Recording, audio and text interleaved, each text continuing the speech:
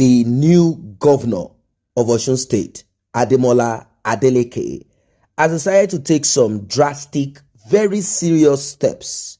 He has dethroned Obas in Osun State. He dealt with the first class Obas and the second class Obas. He said that these Obas were not chosen by the Ifa Oracle, which is a traditional practice. He said Oyetola, the former governor, is the one who chose them and that he cannot work with them. Not only that, he nullified the appointment of 30 permanent secretaries and 12,000 workers are going to lose their job. I repeat again 12,000 workers are going to lose their job. He said he does not know about them and that he will have to review. In fact, he said the appointment of certain individuals in government, in Oyetola's government, is riddled with corruption, with uh, a lot, a lot. He said he's going to nullify all of these people, appointees. He said many of them, um, they, they, have been accused of um, dereliction of duty, financial misappropriation, absenteeism, meaning they don't come to work, and also abuse of office. These are all that he has presented. Now, how is this going to be? How is Osun State going to thrive with this new step? Not just that alone. He talked about the change. In fact, not even talking alone. He decided to take action on Osun State state logo, anthem, and emblem. He said he's going to reverse the appellation, which is state of the living spring. He said he's going to take it off from state of virtues. He said it's going to be state of the living spring. That is what Osun State is going to be. Well, there might be some, you know, very good, you know, reasons for this. Um, but is this the right time? That is what a lot of people are worried about. So, who are these kings that will be kicked away? He is moving in full force. And some are saying those people who did not support him, people that he perceived as enemies, people, voices of dissent, people who are just not in support of his governorship dream, ambition. He said all of those people are being dealt with. Ooni of Ife, are you in support of Ademola Adeleke? Oluwo of Iwo are in support of Ademola Adeleke and many more. All of these people are going to be kicked out. That is what it is. Right now, he is dealing with Akirun of Ikirun, Oba Yinusa Akadiri, Are of Ire, Oba Ademola Oluponle. And that one is the immediate past chairman of the All Progressive Congress in the state. That tells you that there is a lot um, involved in this. And Owa of Igbajo, Obagbeega Famodun, while Akirun and Owa are first class, the Ire monarch is second class. Can you see? Um, we have paramount rulers, we have first class king, and we have the second, third, and like that. He's dealing with them, and he has started with this. In fact, right now, he said that they should all vacate the palace. He has given a marching order to security operatives to take over their palaces. Anyone found there will be arrested and will be locked up. This is the power of a governor. This is called executive order.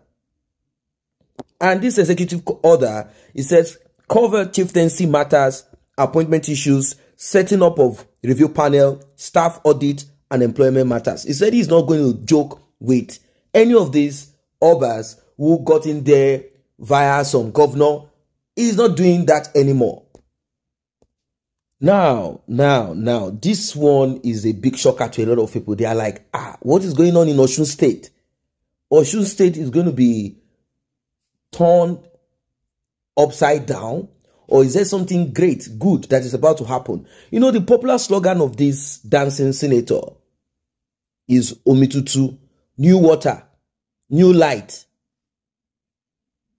Is he kicking off these people to put in his own people? You know, this is how these things work. Once you become governor, don't worry, I'm going to make you king. We are going to kick this one out. I'm going to support you to become governor of the state, but I need that chieftaincy title. I need that Oba title. I need that position. And all he has to do is just get in there, sack all of these Obas, first class, second class, third class, and put in his own people there.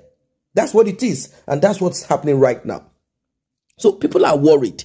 Is this new governor, Ademola Adeleke, coming in to fight? Or he just simply wants to take away people that he knows might disturb his um, time as governor of the state.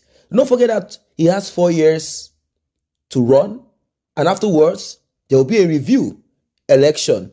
And most of the times, um, when you are an incumbent governor, you will do all, you will make sure you secure everything in place to make sure that you remain there. He didn't just, just do that alone. He made sure that he dealt with any other enemy, anybody that he knows that could dethrone him himself. What did he do? He went into the members of the Osun State Independent Electoral Commission, OSIEC, and he dealt with them. He suspended the chairman and members. These are the people that will uh, that that can gang up against him. He's making sure that he cuts off any perceived enemy, anyone who has power. He's putting his own people there. This is the kind of politics that we have in Nigeria. And of course, everybody wants to watch his own back to make sure that nothing happens. But people are worried right now. What is going to become of these kings? Is Governor Ademola Adeleke fighting corruption? What is he doing actually? Is he trying to push out people that will destroy or disrupt his government? Or is this a personal vendetta? I'm going to fight. These people did not support me. They are carcass of Oyetola. Anything that surrounds Oyetola is making sure that he kicks them out. Oyetola also positioned his own people there, permanent secretaries.